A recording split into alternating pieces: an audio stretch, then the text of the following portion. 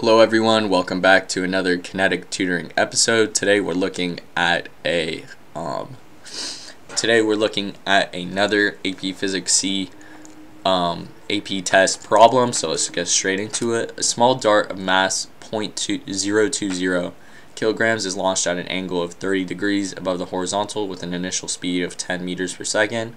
The moment it reaches its highest point in the path and, and is moving horizontally, it collides and sticks to a wooden block of mass 0.1 kilograms that is suspended at the end of a massless string. The center of the of mass of the block is 1.2 meters below the pivot of the string. The block and dart then swing up until the string makes an angle theta with the vertical as shown above. Air resistance is negligible. And so here it wants us to determine the speed of the dart just before it hits the block.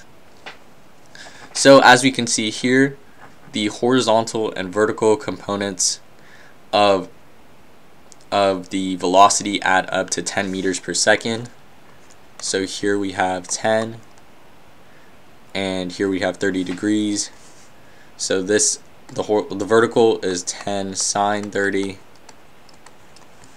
The horizontal is 10 cosine 30. And as as the trajectory changes, this gets smaller and smaller, but this stays constant. So the horizontal speed, because there's no air resistance, is going to remain 10 cosine 30 until it is the only speed left. So at the end, the speed is just going to be 10 cosine 30 because it's moving horizontally. Cosine of 30 degrees is root 3 over 2. So 10 times cosine root 30 degrees is going to be 5 root 2. And that's in terms of meters per second. There you have it. That's the speed. Calculate the horizontal distance d between the launching point of the dart and the point directly and a point on the floor directly below the block. Alright, so let's do that. We know that our horizontal component of gravity, or horizontal velocity is 10 sine 30. Sine 30 is 1 half, so our initial velocity is just 5. So we know that V final is equal to V initial plus AT and our V final is going to be zero because our, our vertical velocity is going to have become zero. Our V initial is going to be 5 plus AT which is minus 10T. So T becomes half a second And then since we know that our velocity is 5 root 2, our distance is going to be 5 root 2 divided by 2. There you have that. There's your distance in meters.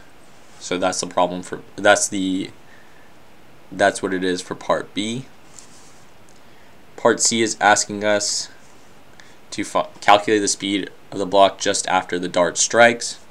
So for here we're going to use conservation of momentum so we have 0.02 which is our mass times our velocity which is 5 root 2 and then we have the mass of this plus the mass of the, the block which is 0.1 so we'll get is equal to 0.1 0.12 times our new velocity. And when we get this we'll get 0.02 divided by 0.12 is 1 sixth so we'll get 5 root 2 over 6 is our new velocity. And it says calculate the angle theta through which the dart and block will the dart and block on the string will rise before coming mo momentarily to rest. Alright, so it wants to know how long before all of this all of this kinetic energy is turned into kinetic energy so from here we can just use our energy. So we have 1 half mv squared is equal to mgh. Our m's cancel out. This squared is going to be 50 over 36 times 2 is, or divide by 2 is 50 over 72. Divided by h will give us 50 over 720 or 5 over 72. So our h is 5 over 72 meters. There you go. And from here we want to find the angle theta.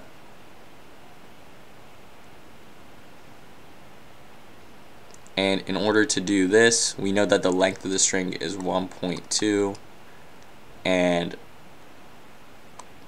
the the horizontal or the vertical component is going to be 1.2 minus 5 over 72. So I'm going to grab my calculator for that because that's not math that I can do in my head.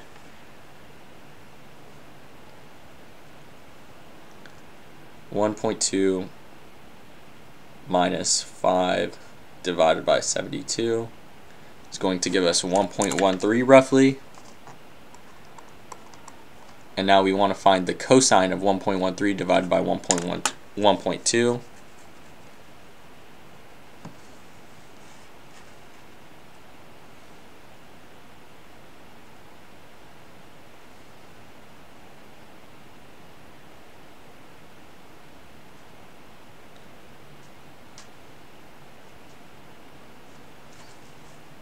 So this will give us sorry. I think I may have done done something wrong. Um but we're gonna find the cosine since since this is the opposite and this is the this is the opposite and this is the hypotenuse. It'll be 1.13 over 1.2 either the cosine or the arc cosine of this will be your answer for the angle. Let me just try to plug it into my calculator again. It was probably in the wrong mode.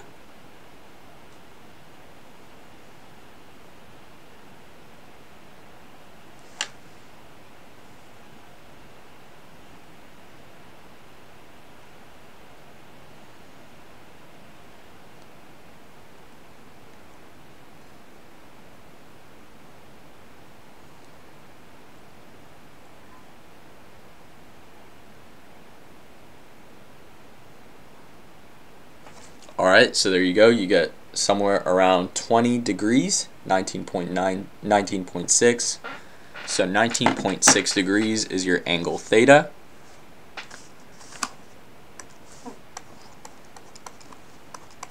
My mistake was doing cos pressing cosine accidentally instead of arc cosine. Alright, so let's take the block then continues to swing as a simple pendulum. Calculate the time between the dart when the dart collides with when the block first returns to its original position. So from here we know that we can just find our um, we can use our simple pendulum equation where we know that alright actually I'm gonna write it all out I alpha is equal to mgl sine theta and from here alpha is equal to mgl over ml squared. We can assume that theta sine theta is just theta. Boom boom boom boom. So alpha is going to be g over g over l. And so our omega is going to be or sorry rather our period is going to be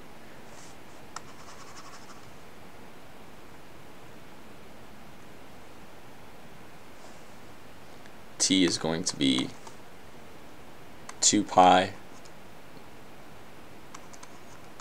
root L over G. And the, our period is the time for one revolution but we only want we only want it for half a revolution. It's just going to be pi times root L over G.